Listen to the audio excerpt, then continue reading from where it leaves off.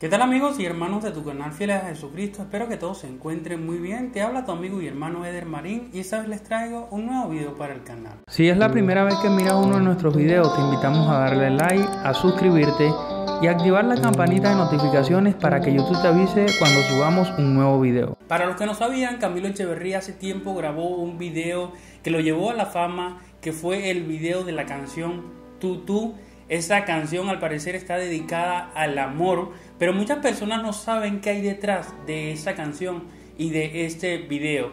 Personalmente no había visto este video y esta canción. Sin embargo, había visto anteriormente donde Camilo Echeverry hablaba del lenguaje inclusivo. Mi bebé, mi primer hijo, hija, hija. Índigo para que cuando nazca se sienta orgulloso, orgullosa, orgullosa de su papá. Y como lo expliqué en anteriores videos, que este lenguaje inclusivo viene de la ideología de género, de la diversidad sexual, etc. Para mi sorpresa, en este video sale una persona travesti. No sabemos si es homosexual, si es transexual, si es transracial, etc. Existen miles y miles de géneros según esta ideología. Sin embargo, sale en ese video. Y Camilo, hablando acerca de este video, habla acerca de la diversidad sexual. Este dice lo siguiente. Hay varios personajes en el video no tradicionales que exponen talentos como menospreciados a la vista de todo el mundo. Sucede dentro de un espectro de un concurso de talento donde están esos tres jueces mirando esto y sale un personaje. Se celebra la diversidad. Ese es el cuento del video. Este, en otra entrevista, habla de lo mismo, pero específicamente de la canción. Este dice lo siguiente. Tutu es una canción de amor que invita al amor y celebra el amor, pero es también una canción que es un himno de diversidad. El mensaje detrás del video es, no importa lo que sea que tengas, es valioso y no importa que te digan no. Lo que te hace único es lo que te hace más valioso. Yo personalmente advertí a muchos y dije que Camilo Echeverry tiene ideas extrañas acerca de la ideología de género y como vemos aquí, este apoya la diversidad sexual. Es decir, este apoya la diversidad sexual y debe apoyar consigo mismo la ideología de género. Lo peligroso de este es que este aún se la ha visto cantando en iglesia. A este también se le ha visto compartiendo un mensaje en la iglesia.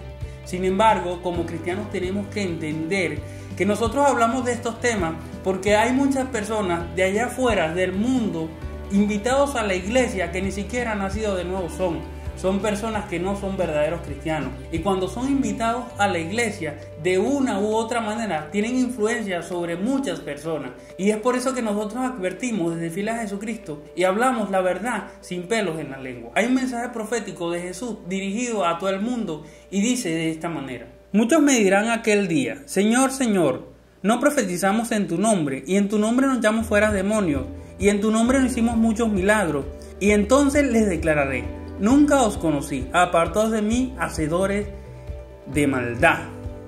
Como cristiano estoy muy preocupado por las declaraciones de este personaje y por la ideología de este personaje, debido a que muchas personas hoy día siguen pensando que este es un fiel representante del cristianismo. Sin embargo, no es así. Aunque muchas personas me criticaron, aquí nosotros mostramos la verdad. Y tenemos que entender que el apóstol Pablo también estuvo muy preocupado debido a que muchos cristianos pueden ser engañados por una u otra persona o por algún sistema de pensamiento o filosofía. Y es por esa razón que el apóstol Pablo en su segunda carta a los Corintios escribió lo siguiente. Por favor, soportenme. Aunque parezca yo estar un poco loco, Dios ha hecho que yo me preocupe por ustedes lo que quiero es que ustedes sean siempre fieles a Cristo, es decir, que sean como una novia ya comprometida para casarse, que le es fiel a su novio y se mantiene pura para él. Pero tengo miedo de que les pase lo mismo que a Eva, que fue engañada por la astucia de la serpiente. También ustedes pueden ser engañados y dejar de pensar con sinceridad y pureza acerca de Cristo. Y es que ustedes aceptan con gusto a todo el que viene y les habla de un Jesús distinto al que nosotros hemos anunciado. Aceptan un espíritu diferente del espíritu que recibieron y un mensaje distinto del que aceptaron. Señores, el apóstol Pablo estaba muy preocupado por los cristianos que estaban en Corintio y es por esa razón que les escribe esta carta. Yo personalmente estoy preocupado por todos aquellos cristianos que aún siguen pensando y siguen a estas personas pensando que son verdaderamente cristianos. Mi intención con este video es advertir a todas aquellas personas que piensan verdaderamente que este es un cristiano como tal. Y es por esa razón que personalmente me quedo con el pensamiento de Pablo en Gálatas 1.10, que dice, hey de mí si intento agradar a los hombres, porque si eso trato de hacer, no sería un siervo de Jesucristo. Y bueno mi gente, esto fue todo por este video. Déjenme saber ustedes qué piensan aquí. Déjenme sus comentarios aquí abajo. También les invito a que se suscriban, a que le den like a ese video, a que lo compartan. Nos vemos en un próximo video. Hasta la próxima.